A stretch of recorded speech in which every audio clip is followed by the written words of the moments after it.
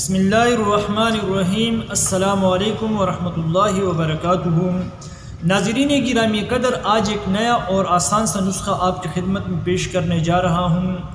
कहीं दिनों से नज़र और दिमाग के हवाले से कोई वीडियो पेश नहीं की थी तो आज मैंने सोचा कि आप दोस्तों के लिए, यानी एक आसान सा टोटका, जो कि किसी पंसार स्टोर पर आपको जाने की भी ज़रूरत नहीं और कहीं कूटने की भी ज़रूरत नहीं और माजून बनाने की भी ज़रूरत नहीं। एक सिंपल सा नुस्खा कि आप कहीं भी रह कर के इस नुस्खे को इस्तेमाल कर सकते इससे अपना, यानी मसला हल करवा सकते हैं। तो चलते हैं नुस्खे की जानब। अक्सर वो दोस्त जो ज़्यादा पढ़े लिखा, पढ़ाई लिखाई का काम करते हैं, या स्कूल में टीचर है, या कोई मुंशी वगैरह हैं तो ऐसे तमाम दोस्त, या जिनका कारोबार, यानी कंप्यूटर का है, मोबाइल चलाने का है तो ज़्यादा इनको टाइम देने की वजह से नज़रों में, यानी नज़र में फ़र्क पड़ जाता है कि जिसकी वजह से ऊपर बंदा देखता है तो सारा अंधेरा अंधेर सा नज़र पे चा आँखों पे चा जाता है और उठते वक्त सर पर चक्कर सा आने लगता है। तो ये दिमाग और नज़र की कमज़ोरी इसे कहा जाता है। तो आपने इसके लिए करना क्या है? बिल्कुल आसान सिंपल सा, कामयाब सा अच्छा सा टोटका, अब इसको कहें या नुस्खा कहें। जो भी आप कहेंगे इन ये कामयाब है और आपका इन इससे फ़ायदा होगा। आपने करना क्या है? चार अदद आपने बादाम लेने हैं। चार अदद से पाँच अदद भी आप कर सकते हैं, अगर आपकी जेब आपको इजाज़त देती है।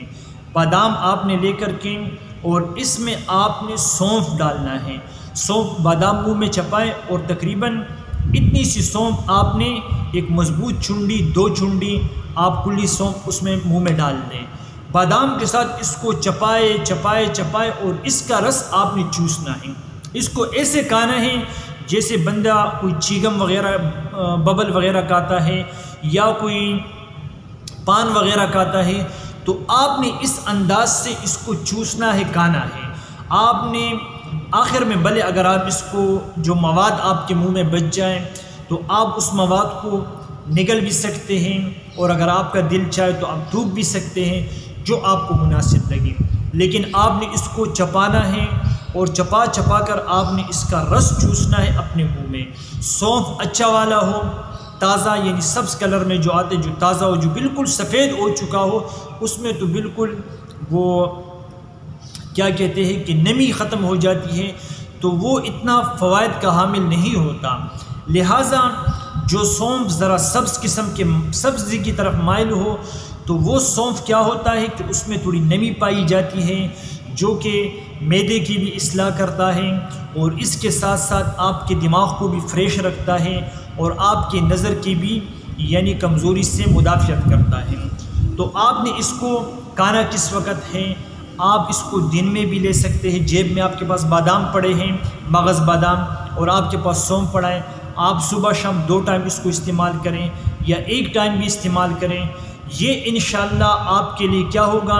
इसके इस्तेमाल से आपको नज़ला सा जारी होगा, या तूक में आपको बलगम आएगा या नाक से नज़ला जारी होगा, लेकिन आप उस नज़ले को बंद करने की कोशिश ना करें, क्योंकि जब नज़ला जारी होगा तो उससे क्या होगा कि आपका दिमाग ज़रा फ्रेश हो जाएगा। फ्रेश होने के बाद आपको हल्कापन महसूस होगा इन आप जब जो बात सुनेंगे आपके जहन में बैठेगी, जो काम करेंगे आपके दिमाग पर बोझ नहीं आएगा। किससे बात करेंगे तो दिमाग में चिड़चिड़ापन भी नहीं, बात में यानी गुस्सा भी नहीं आएगा। ये सारे मामला इन इससे क्लियर हो जाएँगे। अल्लाह हम सब का हामी और नासिर हो, आप इसको इस्तेमाल करें। अगर आपको इससे फ़ायदा हो, यकीनन फ़ायदा होगा, आप मुझे अपनी दुआओं में ज़रूर याद कीजिए। अल्लाह रब्बुल आलमीन हम सब की हिफाजत फरमाए। वालेकुम वरहमतुल्लाहि वबरकातुहू